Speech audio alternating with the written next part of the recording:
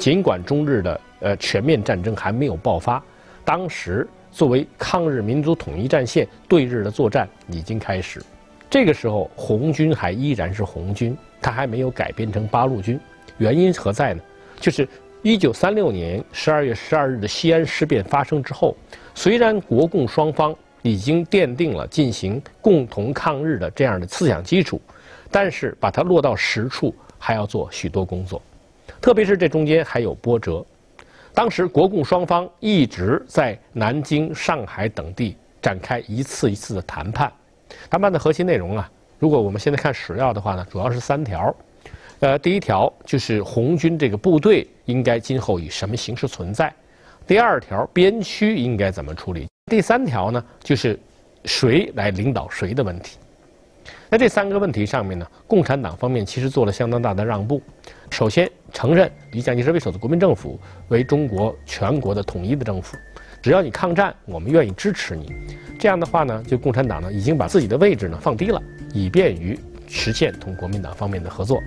第二点呢，就是关于根据地的问题，红军方面呢也做了相当大的让步。主要让步在哪里？就是我们在这个地方啊，不再打土豪分田地了，我们不再采用呃苏维埃的方式来组织政府，我们采用选举的方式来组织政府。地主还可以收地租，只不过这个租呢。将来是要按照政府规定的那个程度来收，以免呢使农民流离失所，使他们不能够生存。但是在这两方面呢，双方都比较容易达成协议，但是在另外一方面却很难达成协定。这就是关于红军地位的问题。国民党方面又对红军应该改编成什么样的部队给予了极为苛刻的条件。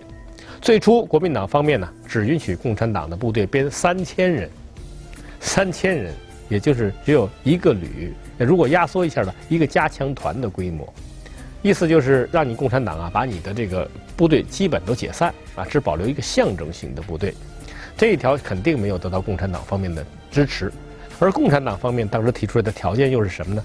共产党方面啊，说你得把我这个部队编成一个陆军，陆军下面可以设军，军下面可以设师。那么我们当时要求编成多少部队呢？编成四个军。红一方面军、红二方面军、红四方面军以及陕北红军，一共编成四个军。每个军呢，我们设一个军长，这是当时中共方面提出的条件。蒋介石对此是坚决不接受的。